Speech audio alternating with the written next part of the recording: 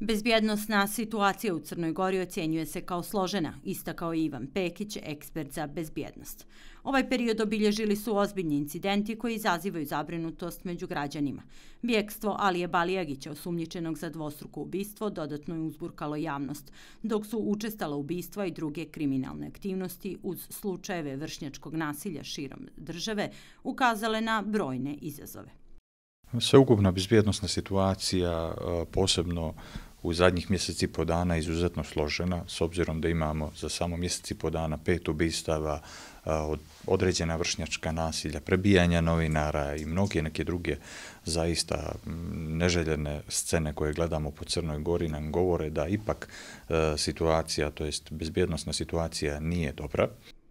Pekić smatra da se mora pojačati sektor bezbjednosti kako bi uspješno odgovorili na ove i slične situacije. Sektor bezbjednosti nam je desetkovan i moramo shvatiti i biti realni da imamo određen e, broj manjka službenika u svim sektorima, posebno u sektoru kriminalističke policije koji se bavi ovakvim e, zločinima koji se dese i ubistvima i mnogim nekim drugim radnjama koje uprava policije kao operativan organ radi. Ono što nije dobro nije po meni što je urađeno i nakon 2020. godine, a to je da je e, uprava policije kao izdvojen organ ponovo pod Ministarstvom unutrašnjih poslova i to se pokazalo zaista nekvalitetnim i neefikasnim. Smatram da moramo staviti upravu policije, izdvojiti je ponovo iz Ministarstva unutrašnjih poslova i dati joj svu moć da ima koju je imala i samostalnost i na taj način onda od njih i tražiti rezultate. Definitivno politika mora shvatiti da ipak moraju profesionalci voditi glavnu riječ u sektoru bezbjednosti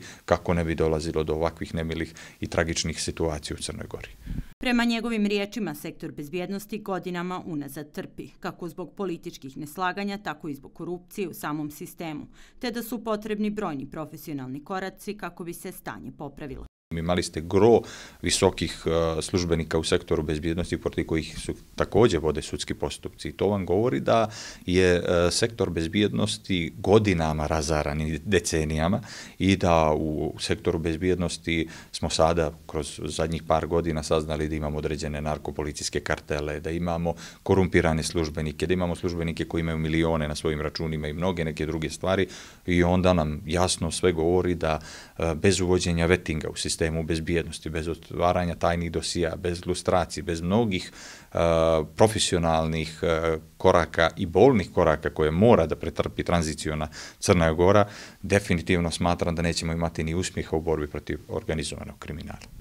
I dok institucije rade na rješavanju ovih problema, građani se sve češće, čini se sa pravom, pitaju koliko su bezbjedni u svojim sredinama. Pekić ističe da se prvi put događa da građani javno govore o ugroženoj bezbjednosti. Kada imate ovakvu situaciju u kojoj javno i transparentno građani Crne Gore vam kažu da se ne osjećaju bezbjedno, da apsolutno im ne uliva povjerenje sektor bezbjednosti, mora vam biti alarm za određene krucijalne promjene, ne samo u sektoru bezbjednosti, već i u ostalim sektorima. E, dok ne u, budemo uh, uveli sve promjene, promjene u sektoru bezbjednosti, promjene u tužilaštvu, promjene u sudstvu, mi nećemo imati krajnje dobrih rezultata. Bezbjednost nije samo pitanje represivnih mjera, već i povjerenja između države i njenih građana, a to je povjerenje sada čini se na ispitu. Da li će Crna Gora pronaći balans između odlučnog djelovanja i dugoročnih reformi kako bi građanima vratila osjećaj sigurnosti?